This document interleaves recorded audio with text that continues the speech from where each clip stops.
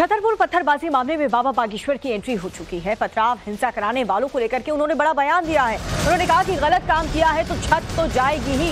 घर से जुड़ा भारत नाम का राष्ट्र, शांति का राष्ट्र कानून के रखवाले हमारी रक्षा करते हैं और हम उनको ही अगर असुरक्षित कर देंगे, उनके ऊपर किसी भी प्रकार का कृत्य करेंगे, इससे ये दर्शाता है कि अशिक्षा का भाव है। जो भी अशिक्षित होता है, वो विवाद करता है। जो शिक्षित होता है, वो संवाद करता है। दूसरी बात इस देश में, हमारे भारत में सबके पूर्वजों ने संविधान को स्वीकार किया। तो संविधान के साथ साथ उस संविधान के कानून की रक्षा करने की जिम्मेवारी भी हम सबकी भी दूसरी बात, हम ये कहना भी चाहेंगे, भारत को कृपा करके भारत रहने दीजिए। इसे बांग्लादेश बनाने की कोशिश और श्रीलंका बनाने की कोशिश मत कीजिए। ये भारत है साहब, राम का राष्ट्र है, शांति का राष्ट्र है। यहाँ शांति से वार्तालाप किया जा सकता है, लेकिन पुलिस प्रशासन को धन्यवाद। उन्होंने सहनशीलता भी दिखाई और करने, कृत्य करने वालों के ऊपर कठोर कार्रवाई भी की। इससे एक नई लाइन खींच दी कि अगर आप गलत करोगे तो छत से जुदा घर हो ही जाएगा।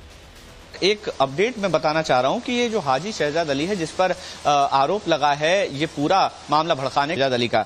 उन्नीस सौ इक्यासी में एक सौ इक्यावन उन्नीस सौ तिरासी में इस पर बलवा के आरोप लगे थे। इसी तरह के हंगामे के उन्नीस में बलवा और हत्या का भी आरोप हाजी शहजाद अली पर लग चुका है। आपराधिक रिकॉर्ड में उन्नीस सौ सत्तानवे में आर्म्स एक्ट के तहत एक मामला दर्ज हुआ था। 2007 और 2016 में मारपीट के केस इसके ऊपर दर्ज हैं। अपने पूरे इलाके में एक अलग रसूख रखता था और जो यहाँ के प्रॉपर्टीज़ के और जो झगड़ों के मामले थे, उन मामलों में इसका इन्वॉल्वमेंट रहता था। इसके खानगाह एक जगह होती है जो इसकी कोर्ट हुआ करती थी एक तरह से, और इसका रसूख इतना था कि वहाँ पर ये तमाम पार्टीज़ को बुला के दोनों पक्षों में समझौते करवाता था, और उसके लिए अच्छी खासी मोटी रकम भी वसूला करता था। इस तरह की तमाम जो जानकारियाँ हैं, वो सामने आ रही हैं, और अब इसकी पूरी कुंडली को खंगाला जा रहा है, इसके पूरे परिवार की कुंडली को खंगाला जा रहा है।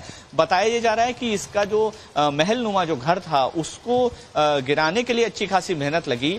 पूरा जो वाक्य है 21 अगस्त का, अब धीरे धीरे उसकी परतें खुलती जा रही है। उसमें साजिश के एंगल पर भी एक जाँच की जा रही है कि क्या ये पूरा जो मामला था, वो किसी साजिश के तहत अंजाम दिया गया, क्योंकि अचानक से इतनी सारी भीड़ इकट्ठा हो जाना, उसके